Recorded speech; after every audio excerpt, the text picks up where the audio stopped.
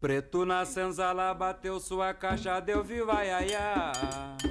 Preto na senzala bateu sua caixa, deu viva ioiô. Preto na senzala bateu sua caixa, deu viva iaiá. Preto na senzala bateu sua caixa, deu viva ioiô.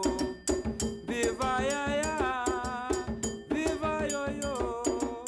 Viva Nossa Senhora, o cativeiro acabou. Hola, hola, sean bienvenidos a otro audio más de Un Manda para Todos. El... Como venimos tocando una serie de temas que de repente son, son muy importantes para, para varias personas, especialmente las que nos escriben preguntándonos sobre estos puntos en particular. Hoy quisiera dejar un tema abierto, pero más que abierto es un tema que eh, hace que muchas personas se confundan en el sentido de que van a la, a la fanpage de Humanda Sagrada o van a la página web de humandasagrada.com y se encuentran con otra versión de la Umbanda, se encuentran con otra forma de ver la Umbanda y sale la pregunta de ¿qué es la Umbanda y qué no es la Umbanda? ¿Qué, qué se hace o qué se practica en la Umbanda y qué no se practica en la Umbanda? Y cuando entra esa pregunta, uno duda de lo que lee, de lo que practica, del templo, del que le enseñó, de dónde se inició, de cómo se inició, de cómo continuar. Uno duda de muchas cosas. Y por causa de esa duda es que muchos terminan desencantados de la religión. ¿Por qué? Porque terminan con preguntas sin respuestas. O con respuestas que no tienen coherencia y se decepcionan del pai, de la mai, del sacerdote, sacerdotisa, balao, como quieran llamarlo. Se, de- se decepcionan del líder espiritual, se decepcionan de los hermanos, se decepcionan de la umbanda. ¿Por qué? Porque surge la famosa respuesta de que mi guía sabe todo, yo no sé nada, o no es momento todavía que aprendas eso. Y así van tirando la pelota y nunca eh, salta eh, de repente algo, una persona que asuma y que diga, sabes que esto es y esto no es, y lo practico así en mi templo, y que, que muestre esa seguridad. Pero hoy en día existen personas que, que hacen eso en diversos países, tratando de dejar en alto el nombre de la religión y respetando por sobre todas las cosas eh, aquellos puntos básicos que determinan de qué es lo que la humana practica y qué no practica. Cuando hablamos de que, que no es la umbanda, nos referimos, por ejemplo, al primer punto y principal punto del sacrificio animal. Muchos salen y dicen de que la, la, la fanpage de Humanda Sagrada o esta nueva corriente denominada Humanda Sagrada eh, es igual que la Humanda Blanca. Y les digo que no es así, porque la Humanda Blanca en su, en su inicio hablaba de la no incorporación del Shu, no tenía que estar involucrado el Shu ni Pomayira, era más o menos una mesa blanca, o sea, un, un- espiritismo humandista, en donde estaba Caboclo, Preto Velo. Algunos ya tenían unas variantes eh, de, de- de guías, donde también ya venían doctores. Algunos templos comenzaron a través de la humana blanca a usar tipo guardapolvo de aquella de escuela como colegio. Eh, en síntesis, hay una, una gran variedad de, de, de formas de practicar la umbanda, pero sí existe una, una base de fundamento que no es inventada ahora en 1996 por Rubén Saraceni, que fue el maestro que eh, trajo toda la renovación de teología de Umbanda. Estamos hablando ya de una práctica que Celio Fernandino de Moraes lo hacía desde 1908. Él jamás mató a un animal. No hay registros históricos que hablen del uso de, la sangre animal o el sacrificio animal como una alternativa eh, obligatoria de energía en donde Eshupo Mayira y otros guías se relacionan eh, con la sangre.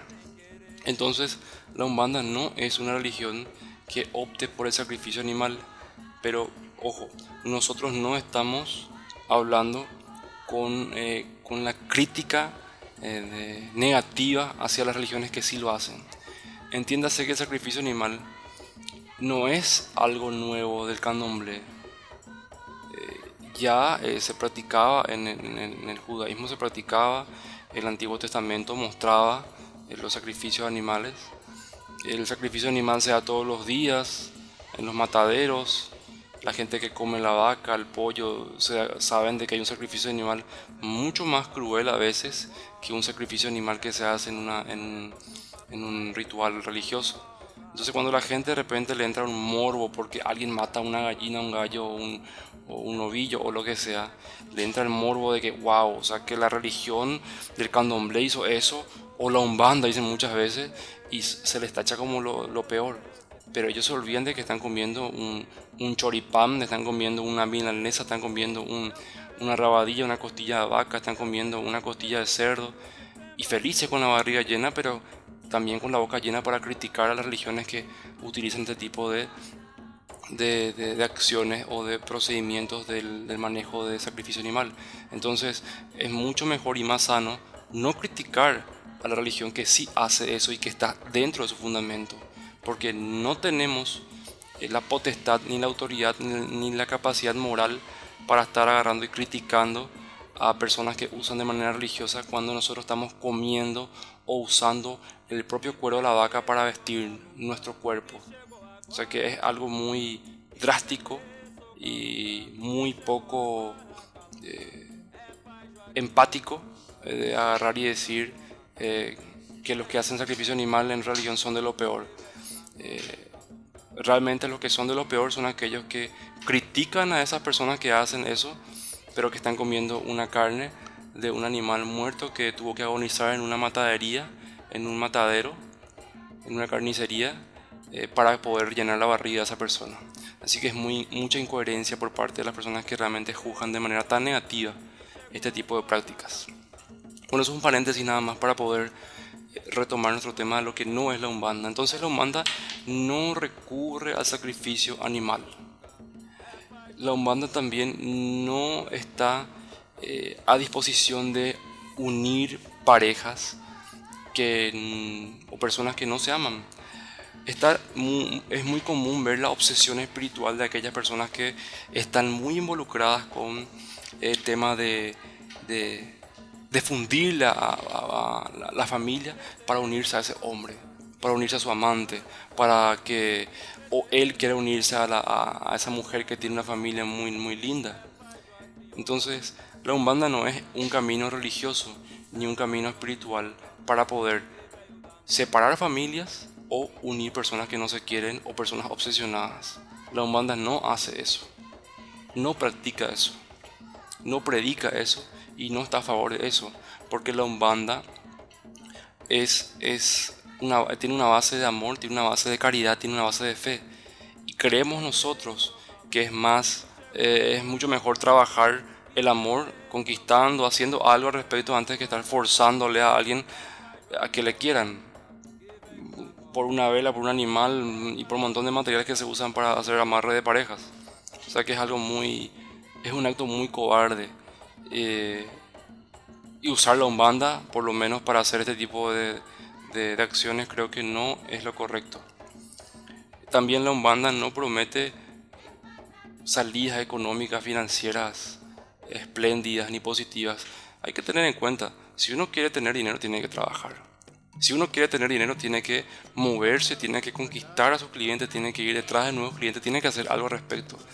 Pero no dejar todo el peso de, obtener riqueza, abundancia material en la espalda de la Umbanda, como si fuera que la Umbanda es un pronto socorro de nuestros bolsillos. La Umbanda no puede estar eh, cumpliendo el capricho de personas que no quieren trabajar. Ahora, más, más adelante voy a entrar en lo que la Umbanda es o en lo que la Umbanda puede ofrecer. Pero cuando una persona dice, yo quiero entrar a la Umbanda porque quiero tener más dinero, quiero tener empleo, no, no es así. Si quiere tener más dinero, trabaja.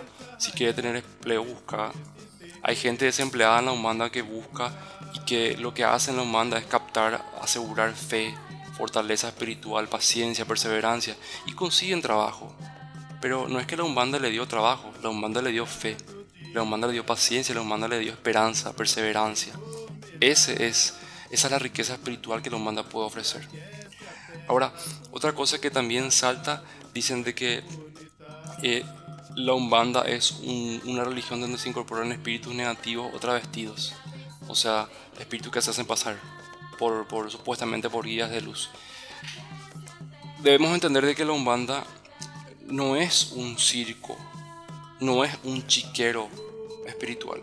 La Umbanda es, es un sistema de creencia muy serio, muy complejo cuando se la estudia y muy sencilla de practicar.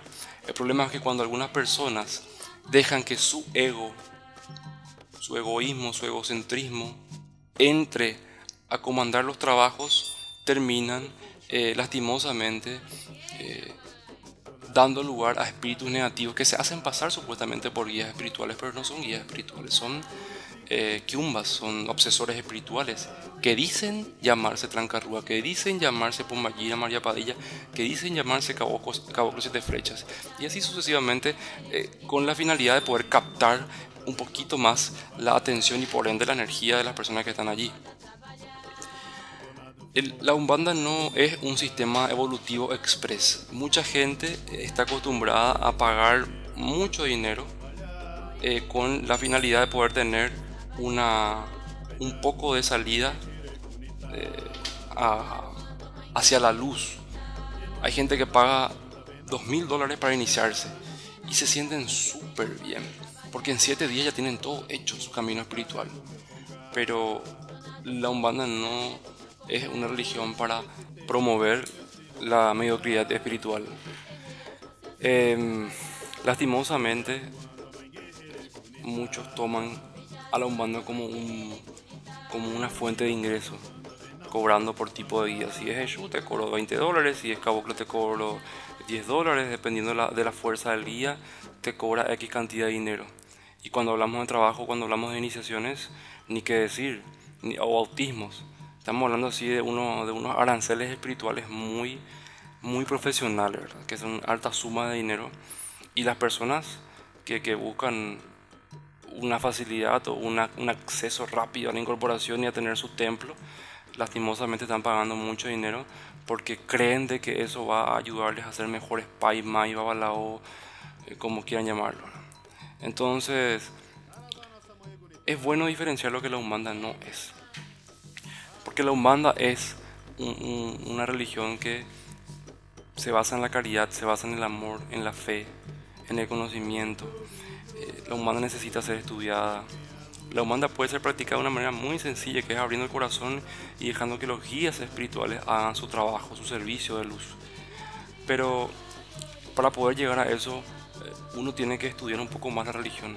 Hay muchas personas que dicen que no hace falta estudiar la religión, pero yo les puedo asegurar que sí hace falta estudiar la religión, porque por causa de no estudiar pasa lo que pasa hoy.